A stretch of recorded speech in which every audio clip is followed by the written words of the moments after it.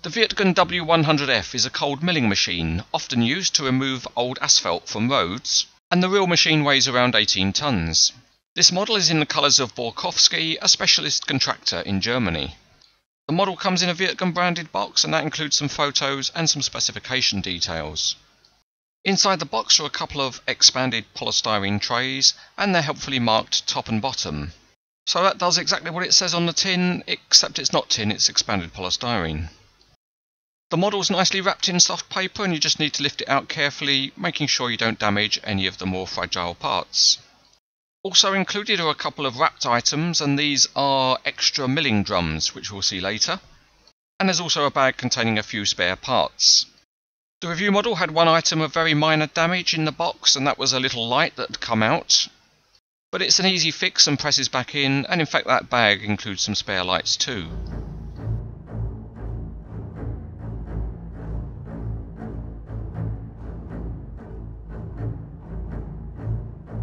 Underneath things look impressive and straight away you can see one of the milling drums. But also what's good is that the internal belt is rubber, even though it can't actually be seen from any other angle. There are three milling drums provided with the model and they're all terrific pieces. They are metal and all of the cutting picks are highlighted with red paint.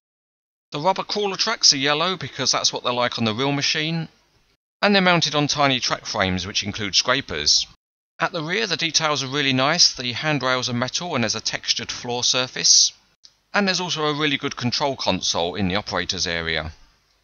One other interesting, difficult to see detail is that the underside of the roof canopy has a structure.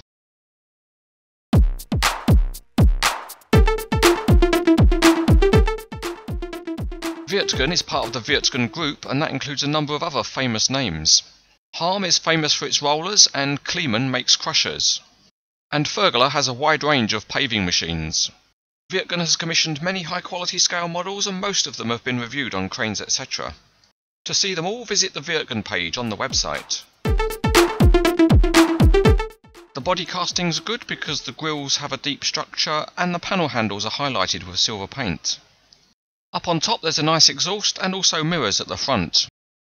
The conveyor's got a moulded cover which imitates tarpaulin and the support ropes are made of wire. Another nice touch is that the belt inside the conveyor is also made of rubber.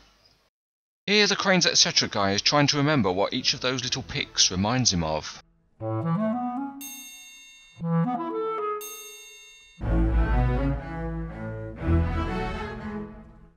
Here comes the Wirtgen planer being delivered to the Cranes etc test site. After being unloaded by a giant hand we can see that the canopy is lowered for transport and can be raised when the machine's at work.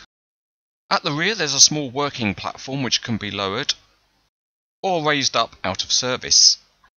Unsurprisingly, the very small rubber tracks can't be persuaded to roll on the test surface, and they are actually very stiff, although you can persuade them to move with your fingers.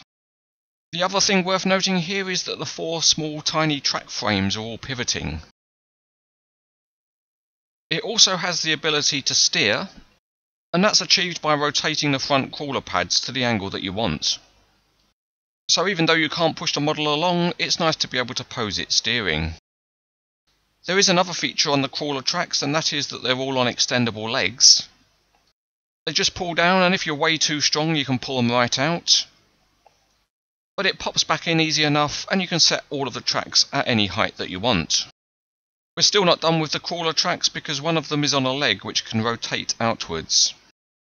So overall the functionality of the crawler tracks is excellent. Another nice feature is that the engine cover opens and it can stay in an open position and underneath you can see the engine. It's not hugely detailed but it's in metal and it's a nice enough feature. This is a milling machine for grinding up road surfaces and the next feature is really excellent because you can open the door and change the milling drums.